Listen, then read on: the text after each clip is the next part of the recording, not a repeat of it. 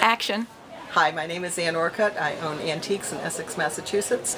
The chairs that you're about to see are gold gilt chairs, hand carved French um, from the late 1800s, early 1900s perhaps. Uh, the pink uh, original priming is showing through the gold gilt and the carvings on them are deep, beautiful, and I hope someone brings them home and enjoys them.